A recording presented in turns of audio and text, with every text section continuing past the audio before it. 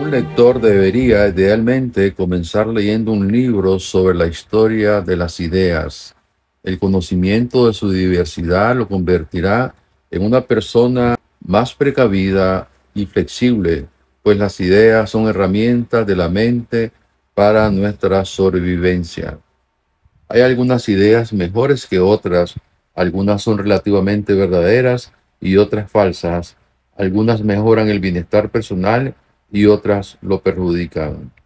Nos debemos ver como un equilibrista dispuesto a cambiar de ideas para nuestro bienestar siempre y cuando éstas nos permitan vivir con más plenitud y ayudarnos a ser cada vez más capaces de discernir la realidad. Y esto se logra con más información.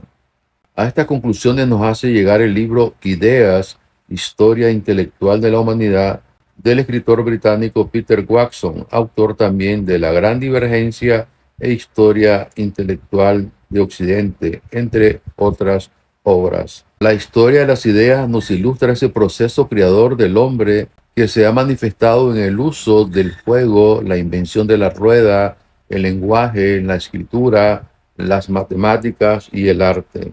La historia de las ideas está ligada simultáneamente al surgimiento de religiones y las civilizaciones, a la idea del alma, del espíritu y de Dios. A lo largo de los siglos, el desarrollo y el progreso han sido por lo general constantes, pero ello no significa que siempre haya ocurrido así. La historia ha sido testigo de cómo ciertos países y civilizaciones brillaron durante un tiempo para luego, por una razón u otra, eclipsarse y esto ha sido producto de las ideas dominantes y la inercia cultural.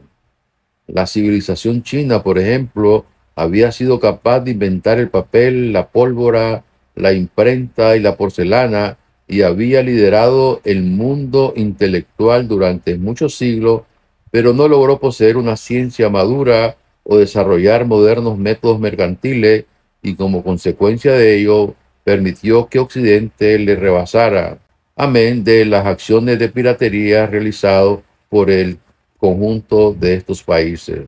Un fenómeno parecido sucedió en la cultura árabe e hindú. La obra de Peter Watson también analiza a los pioneros de la historia de las ideas, como Arthur O. Lovejoy, profesor de filosofía de la Universidad John Hopkins en Baltimore, cuyo tema central fue lo que llamaba la gran cadena del ser.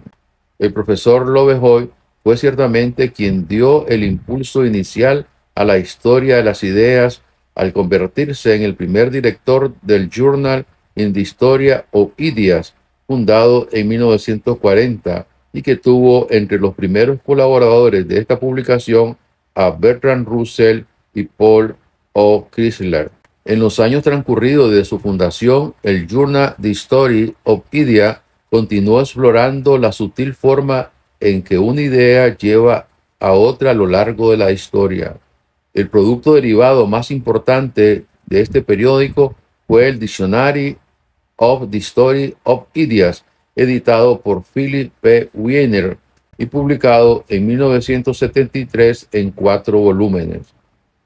El diccionario abarca siete grandes dominios, las ideas sobre el orden exterior de la naturaleza, las ideas sobre la naturaleza humana, la literatura y la estética, las ideas sobre la historia, las ideas e instituciones económicas, jurídicas y políticas, la religión y la filosofía, las ideas en lingüística, lógica formal y matemáticas. Cuando tomamos conciencia de la labor titánica que han desarrollado algunos intelectuales, uno se queda realmente anonadado y no queda más que decir, parafraseando a Descartes, leo la historia de las ideas y entonces dudo. Leer historia de las ideas nos hace tambalear nuestras creencias, a preguntarnos cómo hemos sido influidos en nuestro concepto sobre política, economía, cultura y las diversas corrientes ideológicas que alguna vez nos hicieron caer en el fanatismo, olvidándonos de los grandes principios sobre la libertad y el apego a la ley. Para Platón, las ideas eran formas puras e inmutables. Para filósofos modernos como William James, las ideas son herramientas para la sobrevivencia de los seres humanos. Ser maometano, cristiano, budista o de cualquier otra forma de pensar no ha impedido que sobre estas creencias se formen grandes civilizaciones. De seguro que un conocimiento más profundo de las historias de las ideas darían poco espacio a las ideologías totalitarias que violentan la ley y la libertad de pensamiento. No basta con leer un libro o mucho si no tenemos una visión general de la historia de las ideas, de los sistemas políticos y religiosos y la forma en que surgieron.